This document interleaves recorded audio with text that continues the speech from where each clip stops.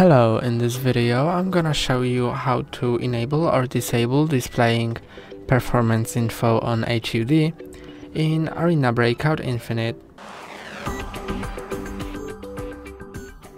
To display or hide performance info on HUD, click on Escape to enter settings, then make sure you are in Game tab and go to Performance Info and you can set it to always uh, auto display, always show, always hide then click on save, confirm and click here to go back and that's all for today. Don't forget to like and subscribe. See you next time.